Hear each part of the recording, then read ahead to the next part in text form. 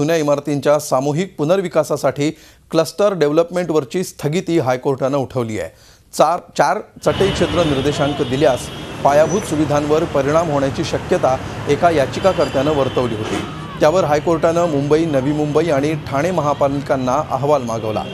हा अहवाल सादर झाल्यानंतर सरकारनं त्यावर निर्णय देऊन हायकोर्टानं आज आपला अंतिम निर्णय दिला आहे मुख्य न्यायमूर्ती मंजुला चेल्लूर आणि न्यायमूर्ती नितीन जामदार यांच्या खंडपीठानं क्लस्टर डेव्हलपमेंटवरची स्थगिती उठवली आहे. त्यामुळे मुंबई ठाणे नवी मुंबईमधील क्लस्टरचा मार्ग मोकळा झाला. आहे नवी मुंबई शहराबाबत नवी मुंबई महापालिका आणि सिडकोनं यापूर्वी आघात मूल्यांकनाचा अभ्यास अहवाल तयार केलेला आहे. नवी मुंबईचा विकास नियोजनबद्ध असून चार एफ एस आयच्या वापरानंही त्यावर परिणाम होणार नसल्याचं अहवालात स्पष्ट झालं आहे मुंबई उपनगर आणि ठाणे शहराविषयी सुद्धा या संदर्भातील अहवाल राज्य सरकारकडे सादर झालेले आहे त्यामुळे आता एफ एस आयच्या योजनेवरील स्थगिती उठवावी अशी विनंती सरकारनं या अर्जांमध्ये केलेली आहे. नगररचना तज्ज्ञ सुलक्षणा महाजन सध्या आपल्यासोबत फोन लाईनवरून आहेत. सुलक्षणाजी सरकार प्रचंड आग्रही होतं या क्लस्टर डेव्हलपमेंटसाठी तर अनेक नगररचना तज्ज्ञांचा या क्लस्टरला विरोध होता. आपलं काय मत आहे काय प्रतिक्रिया असेल या निर्णयानंतर कोर्टाच्या? कोर्टाचा निर्णय मी पूर्ण वाचला नाही परंतु याचिकाकर्त्यांचं जे म्हणणं होतं की पायाभूत सेवांच्या प्रमाणामध्ये एफ एस आय वाढवावा ही मला वाटतं रास्त मागणी होती. नवी मुंबईमध्ये पायाभूत सेवा विशेषतः वाहतूक आणि रस्ते हे तुलनेने बऱ्यापैकी आहेत मुंबईपेक्षा. आणि मुंबईच्या दक्षिण भागामध्ये त्यांची खूपच ब- आता परिस्थिती वाईट आहे.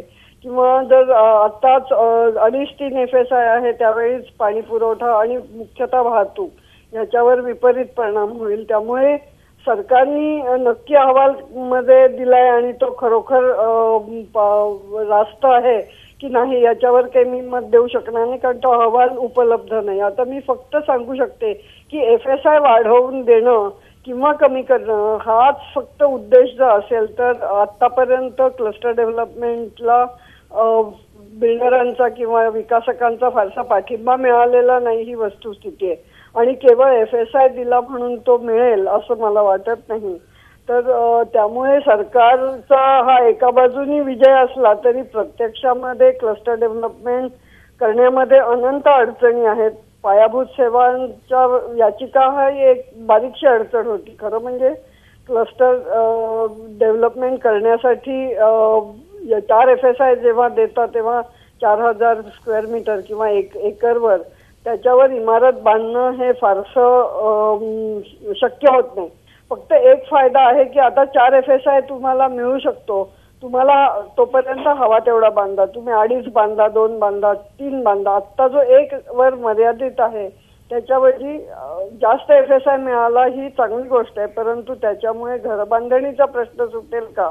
ज्याचा उद्देश चांगली घरबांधणी होणं घरबांधणी पुरेशी होणं आणि लोकांना परवडणाऱ्या दरात ती मिळणं हे तिन्ही उद्देश यातनं साध्य होतील का? याबद्दल मात्र मला नक्की शंका आहे. आणि नगररचना तज्ज्ञ म्हणून मी सांगते की क्लस्टर डेव्हलपमेंटची जी आत्ताची नियमावली आहे ती फारशी क्लस्टर डेव्हलपमेंट अशा तऱ्हेची नाही आहे कारण आमच्या दृष्टीने क्लस्टर हा पाच ते दहा एकर इतका तरी असायला पाहिजे. आणि शासनाने तो केवळ एक एकर केल्यामुळे त्याला मी क्लस्टर म्हणत नाही तो प्लॉट डेव्हलपमेंटच होतो एक एका छोट्याशा जमिनीवरचा आराखडा. आणि त्यामुळे तो फारसा यशस्वी होऊ शकणार नाही असं माझं मत आहे. बिलकुल धन्यवाद सुलक्षणाजी झी चोवीस तासात दिलेल्या या प्रतिक्रियेबद्दल. आत्तापर्यंत विकासक क्लस्टर डेव्हलपमेंटसाठी पुढे येत नव्हते त्याचं कारण केवळ एफ एस आय हे एकमेव नव्हतं. त्यामुळे आता चार एफ एस आय मिळाला.